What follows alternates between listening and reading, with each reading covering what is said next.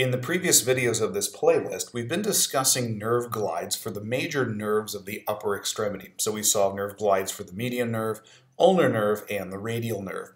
We're going to switch gears now and start discussing some nerve glides for the nerves of the lower extremity. And we're going to begin by looking at those of the sciatic nerve. You should consider giving a sciatic nerve glide to any patient that comes in with any of these presentations down here. Number one, adverse neurodynamics of the sciatic nerve.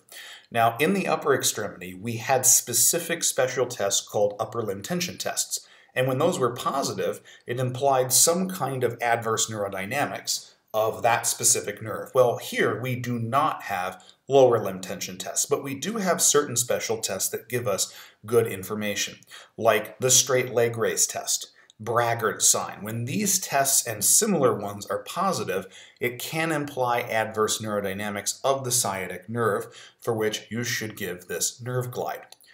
Number two, numbness or paresthesia, such as tingling, burning, shooting pain in the sciatic nerve distribution of the lower extremity.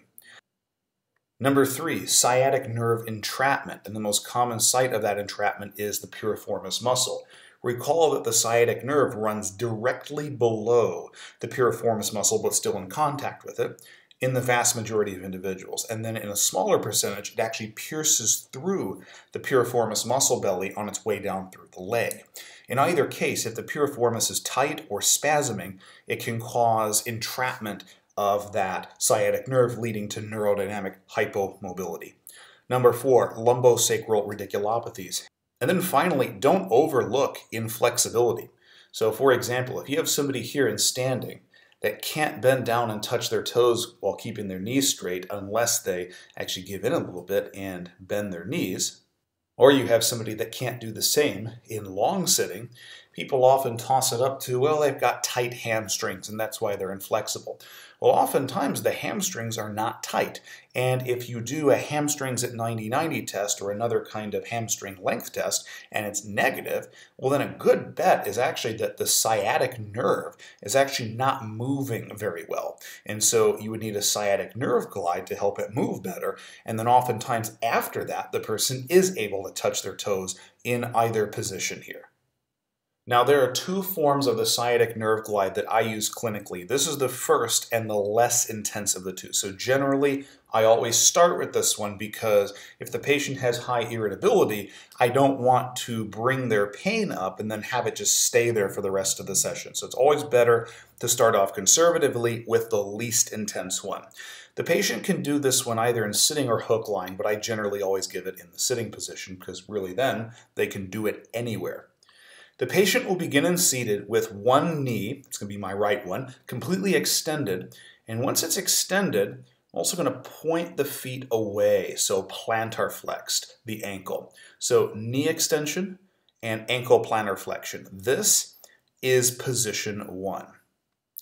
Now from here, you're going to allow the knee to flex downward and at the same time dorsiflex the ankle. So here, letting it down into knee flexion, and also ankle dorsiflexion. This is position two. And so to do this sciatic nerve glide, you're just going to oscillate between the two positions. Knee extension plantar flexion, knee flexion dorsiflexion. Knee extension plantar flexion, knee flexion dorsiflexion. Again, you're going to hold about one to two seconds in each position, maybe to a total of 15 repetitions per set.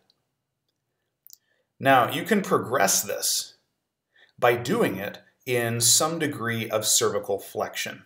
Okay? So the movements at the knee and the ankle are exactly the same, but notice I have my neck flexed downward. This puts a little bit of extra tension on the nervous system, and so what we're essentially doing here is we're training the mobility of that sciatic nerve under a greater degree of neural tension. I can progress this even further by adding a thoracic slump. So recall from the slump test that both cervical flexion and this thoracic kyphosis or hyperkyphosis puts even greater tension on the nervous system. So this would generally be the last progression I would use. The first form of the sciatic nerve glide, what we just looked at, is the least intense of the two. If the patient has trouble tolerating that one, there's no way I'm going to progress them to this one, the second form of the sciatic nerve glide. But if the patient can tolerate the first one and they actually find it pretty easy, well, I want to challenge their nervous system, so I'll then see if they can handle this one. So this one the patient's going to perform in sitting, as you see right here. And you're going to begin with one knee completely extended like this. So extend the knee. This is position one. Now from here, you're going to allow the knee to flex downward and at the same time bend your neck downward into cervical flexion like that. This is position two. Now notice that as I flex my neck downward, I'm doing my best to not flex at the thoracic spine. So I'm literally just having knee flexion and cervical flexion. And again, it's a nerve glide, so we're just going to oscillate between these two positions. Knee extension with the head in neutral, and knee flexion with the neck flexed. Again, we're going to hold about one to two seconds in each position and perform a total of 15 repetitions per set. Now, if this becomes too easy, we want to challenge the patient a little bit more, well, then I'm also going to include some thoracic flexion in there. So again, position one, there's no difference. Head's in neutral, so neutral neck, knee extension. But then position two then becomes combination of knee flexion, cervical flexion, and then also thoracic flexion, or we can say thoracic hyperkyphosis. Remember that thoracic hyperkyphosis puts extra tension on the nervous system. So again, we're retraining that neurodynamic mobility of the sciatic nerve under a larger amount of neural tension. And again, an oscillation between those two positions. And as always, we're going to use the test, treat, retest model.